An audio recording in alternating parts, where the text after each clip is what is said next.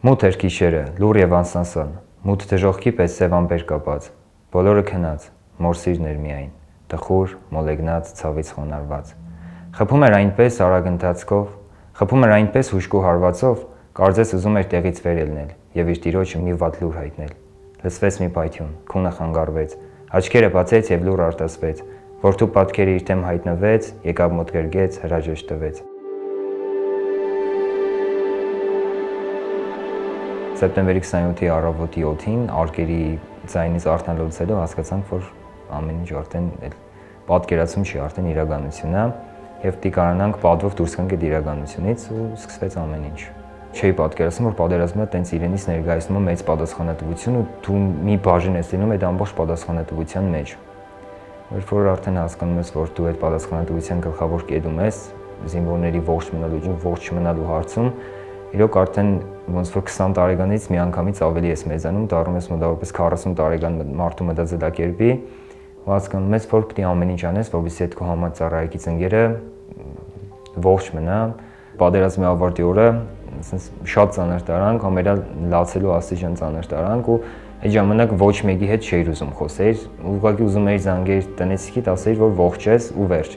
Ոչ ուզում էիր ինչ-որ բանից քննարկեիր, ոչ հետագայի մասին, որովհետև ոնց որ քո կյանքը արդեն կանգներ, որ հիշում ես քո համաձայնայից ընկերներին, քո կորսված տարածքների մասին, այլ այդ լուրը ոչ մեկին չէր ուզում հայտնել, որ պատերազմը ոնց որ ամոթի զգացողություն լիներ, որ պատերազմը ավարտվեց ու ինչ կնով ավարտվեց։ 3 տարեկանից ուզեցել եմ բժիշկ դառնամ, երբ որ հարազատներիս հետ գնացել էի հիվանդանոց, ինչ խնդիրների պատճառով, մի բժիշկ տեսա ու իր այդ սպիտակ խալաթը, իր պապվածքը բան առաջին իմ ուշադրության ոնց որ կենտրոնում հայտնվեց եւ երբ որ եկանք տուն, ասացի, որ ես հաստատ որոշել եմ, որ պիտի բժիշկ դառնամ ու 3 տարեկան ցեսկում իմ կարծիքը չի փոխվել։ Պատերազմի ժամանակ, եթե անկեղծ լինեմ, ավելի իմ մոտ սևեռվեց այն, որ բժիշկ լինելը դա ոչ միայն կոչում է, ոչ միայն մասնագիտություն այլև իրենց ներկայացնում է շատ ահռելի պատասխանատվություն